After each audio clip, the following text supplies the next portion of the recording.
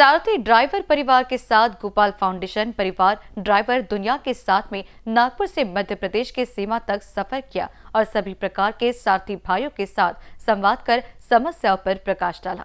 अनेक प्रकार के समस्या उजागर हुए हैं। साथ ही गोपाल परिवार हर प्रकार की समस्या का संभव मदद करने का प्रयास करेगी, ऐसा आश्वासन संगठन अध्यक्ष प्रहलाद अग्रवाल ने दी। साथ ही सभी प्रकार के संगठन के साथियों से अपील की गई कि समस्या हो गोपाल परिवार फाउंडेशन को अवगत करने के लिए। इस दौरान प्रमुख रूप से भाईचारा राजमार्ग परिवहन सेवा के नरेंद्र मिश्रा, शिवाजी वाहन चालक संचालक एसोसिएशन के दिनेश अग्रवाल, सचिन पांडे ने सड़क मार्ग पर सारथी ड्राइवर साथियों से मुलाकात की। गोपाल परिवार फाउंडेशन के संस्थापक अध्यक्ष प्रहलाद अग्रवाल ने अपने 60 साल के अनुभव बताते हुए पत्र में लिखा कि आम आदमी से बड़े व्यापारियों तक नए कानून में बदलाव जो किया है, वह गलत है, तथा सरकार ने सुझाव समिति की स्थापना करनी चाहिए, ऐसा पीएमओ को पत्र लिखा है।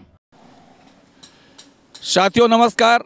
आज हम नागपुर से निकल के मध्य प्रदेश के खवासा बॉर्डर तक एमपी के चेक पोस्ट तक जाने की हम लोग प्लानिंग किए, लेकिन हमने सभी ड्राइवर भाइयों से नागपुर से लेकर यहाँ तक मिल रहे हैं कि जो सरकार ने नया कानून लाए हैं 2023 मोटर एक्ट का कलम 106 सौ दो, ये ड्राइवरों के लिए जो घातक इन्होंने निर्णय लिया है इसके विरोध में हमारे सब ड्राइवर भाइयों भी साथ में खड़े हुए हैं और अपने ड्राइवर भाइयों को मैं बताना चाहता हूँ कि आपके सड़क सुरक्षा के लिए, आपकी जान माल की सुरक्षा के लिए गोपाल फाउंडेशन परिवार जिस तरह से काम करने जा रही है, उसमें आप लोग सहभागिता निभाएँ। और हमने आपसे वादा कर रहा हूँ कि जिस तरह से सरकार ने लिखित में कानून दिया है पार्लियामेंट के अंदर से, हम उसी तरह से सरकार से निवेदन करते हैं कि हमें लिखित में चाहिए। अन्यथा हम जनवरी या छब्बीस जनवरी के बाद हम इसको चक्का जाम आंदोलन करने की तैयारी करेंगे। अगर सरकार हमें लिखित में चीज़ को नहीं दिया तो हम लिखित में चाहते हैं, हम सरकार के साथ में काम करना चाहते हैं, सरकार के निर्णय को मानते हैं।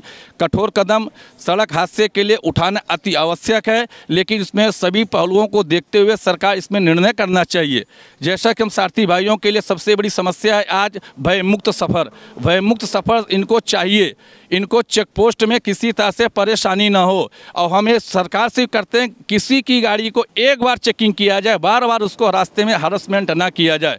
जब तक ये परिवहन माफिया ख़त्म नहीं होगा, जब तक सड़क हादसे को हम नहीं रोक सकते। सड़क हादसे को रोकने के लिए हमारे पास एक ही रास्ता है, परिवहन माफिया को रोकना पड़ेगा। रोड भय मुक्त करना पड़ेगा। इस विषय में हमारे साथ सभी प्रदेश के ड्राइवर भाई हैं और हम लोग सभी ड्राइवर भाइयों का एक लंबा चौड़ा ग्रुप बनाना चाहते हैं कि आपको हर सुख दुख में हम आपके साथ खड़े रहेंगे। आप हमारे साथ रहिए, अपनी बात को शेयर हमसे करिए, हम आपकी बात को शेयर करेंगे। आपको राष्ट्र के हित में काम करना है जन कल्याण के लिए काम करना है। आप नेशनल हाईवे के हीरो हो, हीरो बन के रहो। जिस तरह से फौजी भाई हमारे रिकॉर्डिंग बॉर्डर में रहते हैं, उस तरह से आप ही हमारे सड़क के एक सिपाही हैं, सिपाही के तौर पे काम करिए। बाकी हमारे कुछ साथी भाई आपको बताना चाहते हैं मीडिया के माध्यम से, ये भी बताएँगे। हमारे सरदार जी भी हैं, सभी लोग हैं। बताए सरदार जी, क्या प्रॉब्लम आपको लगती है? सुखदेव सिंह, जबलपुर एमपी रोड देते बहुत परेशानियाँ जगह जगह आर परेशान कर रहे हैं।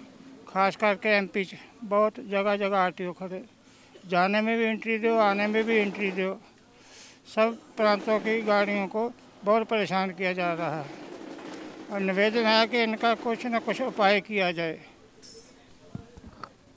आपकी परेशानी क्या है भैया जी? नमस्कार जी।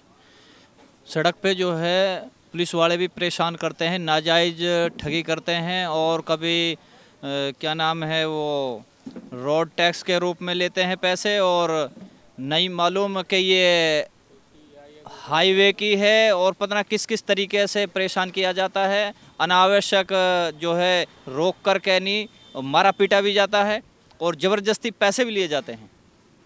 जहाँ बॉर्डर का जो मसला है, वहाँ पे लंबी चौड़ी भीड़ लग जाती है, कांटे सही से काम नहीं करते हैं और अगर कुछ कहते हैं तो मरने को दौड़ते हैं। और जगह जगह पुलिस वाले ट्रैफ़िक पुलिस वाले आरटीओ, नहीं मालूम वो आरटीओ है भी या नहीं है। हम चाहते हैं ड्राइवरों को सुरक्षा मुहैया कराई जाए और एक सफल, ये जो है ड्राइवर अंतरिम सैनिक है, ये देश की हर ज़रूरत को पूरा करते हैं, यहाँ से वहाँ सामान पहुँचाते हैं तो इसलिए ड्राइवर भाइयों की समस्या का हल किया जाए और जो ये कानून लागू किया जा रहा है, ये भी लागू नहीं होना चाहिए। अगर ड्राइवर भाई वहाँ रुकेगा तो पब्लिक उसको मार देगी, वरना तो सरकार जो है उसको दस साल की सज़ा और सात लाख जुर्माना कर रही है। अगर इस तरह से सात लाख जुर्माना पे करेगा ड्राइवर भाई तो वो अपना दूसरा बिज़नेस करके बैठ जाएगा।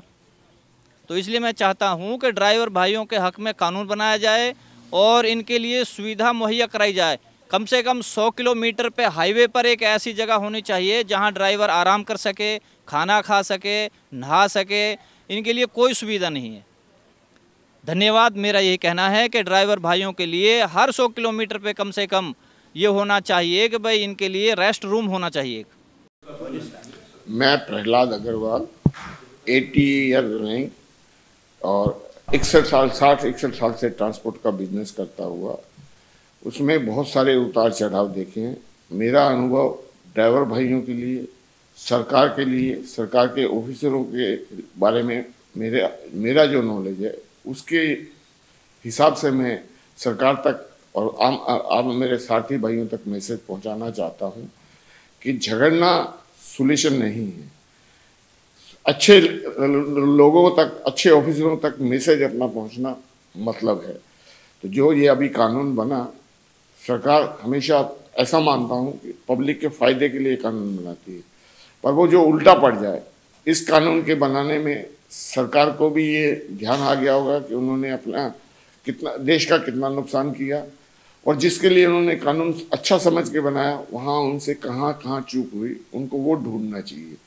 और वो ढूंढ के उनको सही जो जिसकी जानकार हैं, उसमें मेरा एक सजेशन है कि जैसे मेरे को साठ इकसठ साल हो गए, जिन लोगों को इस लाइन में जुड़े हुए पचास साल हैं, उनकी एक कमेटी या उन दस लोगों को पहले कोई भी कानून या कोई भी चीज़ या कोई भी चेक पोस्ट बंद खड़ा करते, बंद करते उनसे सबसे पूछना चाहिए कि भाई, इसके बेनिफिट्स क्या होंगे? इसके नुकसान क्या होंगे? फिर राष्ट्र हित में और आम आदमी के हित में जो अच्छा हो, वो सरकार को लागू करना चाहिए। न कि कोई भी चीज़ थोपनी चाहिए। थोपने में कितना नुकसान हुआ, वो इसका सर्वे कर ले। और सर्वे करके व्यापारी कितना नुकसान हुआ, कितने दिन काम बंद रहा, कितने दिन लोगों के दिमागों में क्या फितूर आया कि मेरे को ड्राइवरी छोड़ देनी चाहिए। ऐसा सब नहीं होना चाहिए। तो मैं अपील करता हूँ, और मैं, अगर मेरे सजेशन मांगेंगे तो मैं जो भी सरकारी ऑफिसर जो भी ये कहेगा कि भाई इसका क्या रहता है तो जो मेरा अनुभव है, मैं उनको शेयर करूँगा। और इसमें मैंने एक चिट्ठी मोदी जी को लिखी है, जो मैंने उन तक भेजी है, और मैं अभी मीडिया में भी वो चिट्ठी दी है। तो उस चिट्ठी का वो पढ़ के, और सरकार उस पर अच्छा डिसीज़न ले, ऐसी मेरी सरकार से अपील अर्ज़ और साथी भाइयों के लिए अच्छा कदम उठाने की एडवाइस थैंक्स जय हिंद, जय महाराष्ट्र, जय भारत, जय हिंदुस्तान. इन न्यूज़ के लिए वाड़ी से सौरभ पाटिल की रिपोर्ट.